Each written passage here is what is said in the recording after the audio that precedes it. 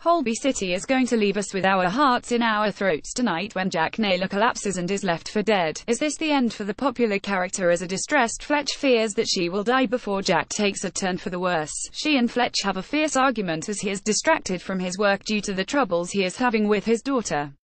As she delivers some barbed comments his way, Fletch reacts badly and the two friends butt heads. Little does Fletch know that he might not see Jac alive again as she later collapses in her office from a post-operation infection and a question mark hangs over her fate. More Coronation Street spoilers all over for Sally and Tim Metcalfe as she is jailed. Viewers will have to wait until the episode next week to find out if she comes through this, but it's definitely serious as she is placed into an induced coma.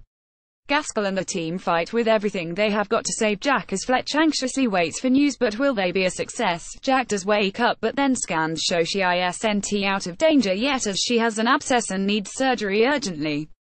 As it then emerges that she has sepsis, Gaskell to save her as she faces the prospect of multiple organ failure. With Arrow in his mind, Fletch is so distressed at the thought of losing Jac that he breaks down and suffers a panic attack.